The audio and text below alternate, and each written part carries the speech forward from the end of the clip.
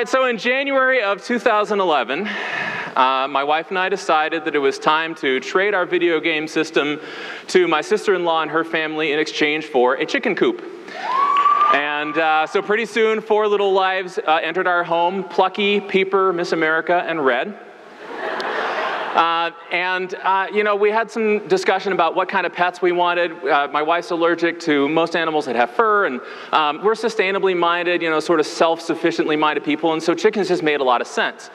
Um, they lay eggs for you. They till your soil for your garden. They, uh, they eat bugs and weeds you don't want in your garden. They fertilize your garden. Um, and they're way more entertaining than the video game system ever was. Um, so, you know, they, they, a lot of questions come when you have chickens from your friends, from people you meet. Where do you live if you, you can have chickens? Do you live on a farm? Uh, do you live out in the middle of nowhere? You know, we live in a really typical neighborhood in Mesa. Um, you don't need a whole lot of land in order to raise chickens. You do need to check with your city ordinance just to make sure that it's cool. Um, and each city has a little bit of different rules. If you have an HOA, good luck. Um, but uh, yeah, we, we have a very small plot of land. You don't need a lot of land for the chickens. Um, you don't also need a rooster. We have four hens. Uh, you don't need a rooster in order to get eggs. Yeah, that's a common misconception. You need a rooster if you want chickens to come out of the eggs at some point. Um, but otherwise, they're just really good, nutritious, uh, you know, breakfasts that pop into the coop every morning magically. Um, the color of the shell of the egg is based on, on the breed. That's another common question.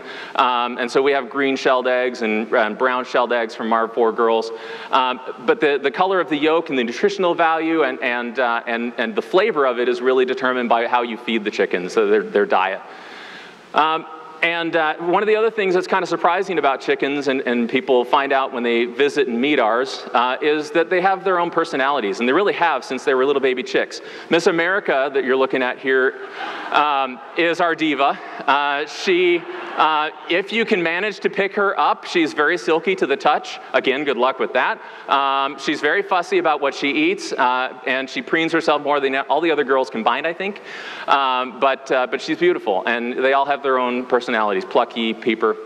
Um, and uh, one of the, the most surprising thing, absolutely though, to having chickens for me is how deeply I've, I've grown to know these chickens and, uh, and how much they, they are in my heart. Um, I spent hours when they were little chicks in a box in our laundry room before they could go outside. Here they are. Um, and uh, we just talked, you know, uh, we got to know each other. Um, and I, I, talk to them by name, and they think of me as their rooster. Um, and it, that's the. When I go out to visit in the coop right now, uh, I'll go out there and they, they hunch down like this. Now, that position means something different if I'm an actual rooster. Um, in my case, it means it's easier to bend down and pick them up and, and hold them. So I use that to my advantage. Um, one day, one day I dropped one of their eggs. And I want you to understand that chickens go through labor pain almost every day in order for you to have breakfast. And when that sinks in, I went out and I sincerely apologized to Peeper for dropping her egg. I, true story.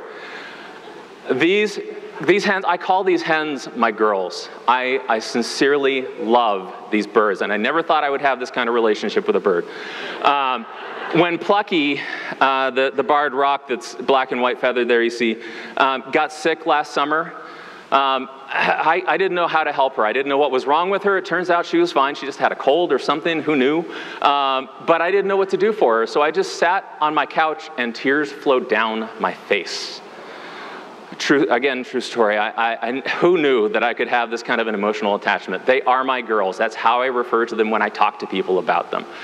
Um, and I know that you're not supposed to have favorite kids, but red is my favorite.